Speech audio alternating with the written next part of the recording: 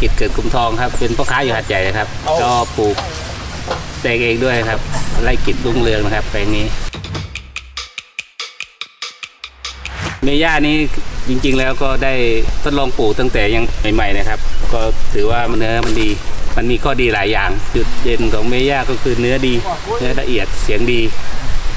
คือว่าไอ้ทนต่อการขนส่งพูดถึงผลผลิตก็โอเคครับ ตอนนี้ก็ถือว่าเป็นตัวนำอยู่ ก็หลายตันอยู่ครับ ต่อไร่ก็ประมาณ 4 ตัน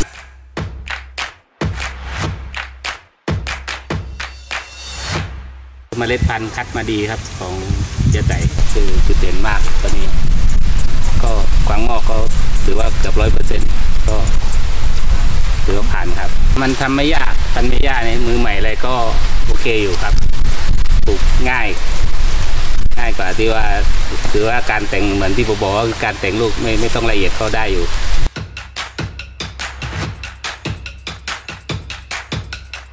ก็ปกติต้องอยู่ประมาณ 13 13 ขึ้นนะครับ โดยทั่วไปแต่ว่าเมย่านี่ถ้าว่าเราทำไม่ทันอะไรติดข้อ8ข้อ10ก็ก็โอเคอยู่ใช้ได้ไม่เสียหายครับ คือว่ายังโตแล้วก็ยังยังเนื้อดียังยังยังเป็นเกรดเอได้อยู่ครับ ไม่เยอะครับ แต่ว่าเรามีวิธีแก้ช่วงที่ผสมดอกอะเราต้องอย่าหยุดน้ำต้องยังยังยังปล่อยน้ำอยู่ คือปรับปรับวิธีการปลูกใหม่ ถ้าเป็นเมื่อก่อน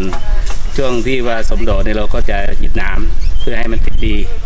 แต่เดี๋ยวนี้ถ้าว่าเราหยุดน้ำมันจะมีปัญหาเรื่องหัวขวด เพราะว่า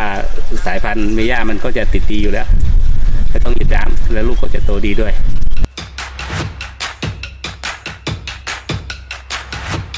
ก็อยู่ประมาณนั้นนะ90กว่าครับ คือรอบหน้าก็คงจะเยอะกว่านี้ คือพี่เน้นเนื้อ เน้นเนื้อ เน้นเนื้อเน้นความทนทานของการขนส่งครับแต่ว่ามันก็จะได้ไซส์ใหญ่ด้วยผลผลิตดีคือบางทีบางสายพันธุ์มันใหญ่ก็จริงแต่เนื้อมันจะไม่ละเอียด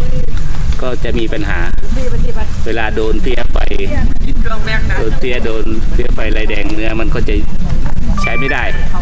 เบย่านี่ถือว่าถ้ามีเพียไฟไม่ไม่หนักก็ถือว่ายังไปได้อยู่ครับ ถือว่านำตลาดอยู่ครับตอนนี้นำถือว่าที่ปลูกปลูกก็ถือว่า